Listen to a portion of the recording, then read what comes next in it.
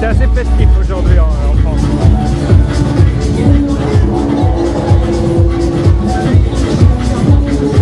Bon, bah, je vais continuer ma marche. C'est mademoiselle.